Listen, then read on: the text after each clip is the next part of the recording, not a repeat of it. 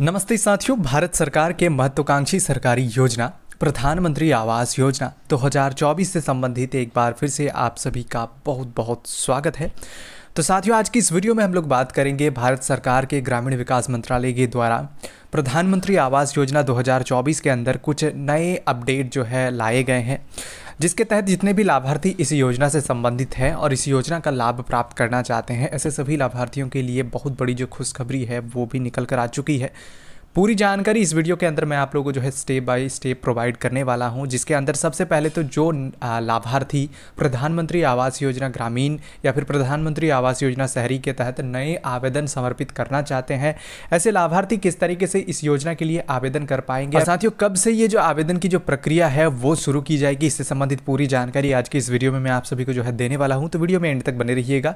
उसी के साथ दोस्तों, जो लाभार्थी इस योजना के तहत पंजीकृत है और उन्हें दोस्तों काफ़ी दिनों से इस योजना के तहत जो पहली किस्त की राशि है, वो उनके खाते में ट्रांसफ़र नहीं की जा रही थी। तो साथियों, ऐसे लाभार्थियों के खाते में अब जो है पैसे ट्रांसफ़र किए जाएँगे और जिसको लेकर ऑफिशियल जानकारी निकल कर आई है। पूरी जानकारी मैं इस वीडियो के अंदर मैं आप लोग को क्लियर करूँगा। डिटेल में तो वीडियो में एंड तक बने रहिएगा। और एंड में दोस्तों जो लाभार्थी इस योजना के तहत अपना पंजीकरण कराए हैं, लेकिन उनका नाम पोर्टल के अंदर अभी भी शो नहीं हो रहा था। ऐसे सभी लाभार्थियों की जो नई लिस्ट है दोस्तों, वो पब्लिश की जाएगी और उस लिस्ट के अंदर सभी लाभार्थी अपना नाम को चेक कर पाएँगे। उसी के साथ दोस्तों, उनका जो हाउस स्टेटस है, उसे भी देख कर पता लगा पाएँगे कि उनको कब तक उनके खाते में जो पैसे हैं, वो मिलने वाली है।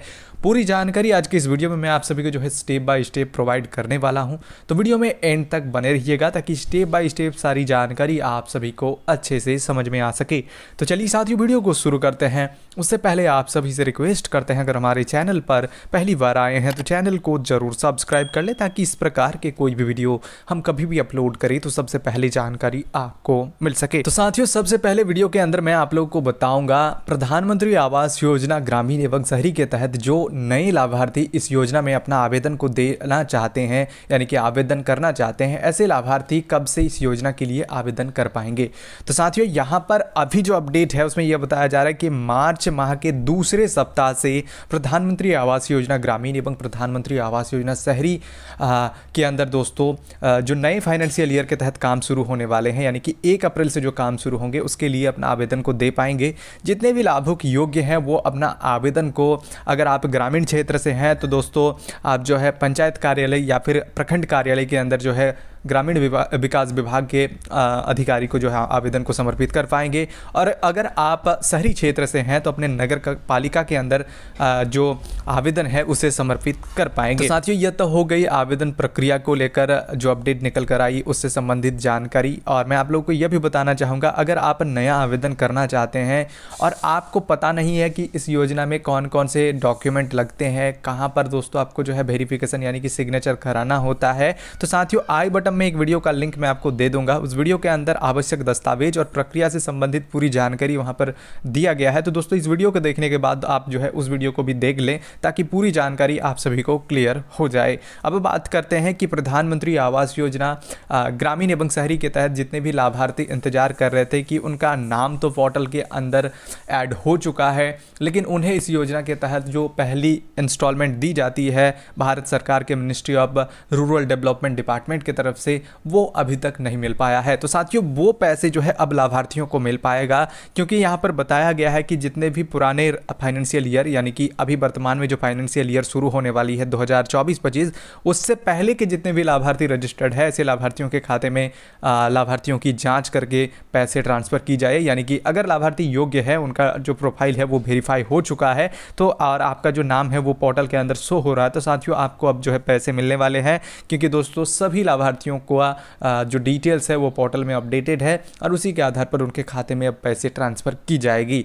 तो साथियों, जितने भी लाभार्थी इंतज़ार कर रहे थे प्रधानमंत्री आवास योजना के तहत पहली किस्त का तो साथियों, आप सभी के लिए बहुत बड़ी खुशखबरी है, क्योंकि बाकायदा अब सभी लाभार्थियों के खाते में जो पैसे हैं वो ट्रांसफ़र की जाएगी प्रधानमंत्री आवास योजना, ग्रामीण एवं शहरी दोनों क्षेत्र के अंतर्गत।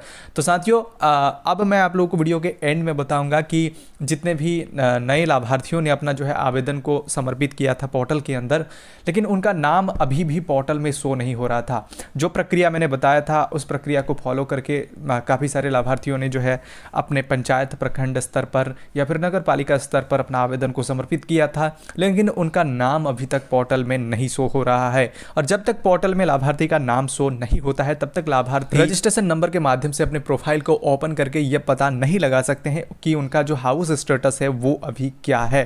तो साथियों, मैं आप लोगों को बताना चाहूँगा कि जितने भी लाभार्थी इस योजना के तहत पंजीकरण कराए थे और लाभार्थियों की वेरिफिकेशन होने के बाद जितने भी वेरीफाइड लाभार्थी हैं, यानी कि साथियों, जो एलिजिबल लाभार्थी है, जिन्हें इस योजना के तहत लाभ मिलना है, ऐसे सभी लाभार्थियों की जो नई लिस्ट है, वो एक सप्ताह के अंदर दोस्तों भारत सरकार के ministry of rural development department के द्वारा दोस्तों पोर्टल के अंदर पब्लिश किया जाएगा।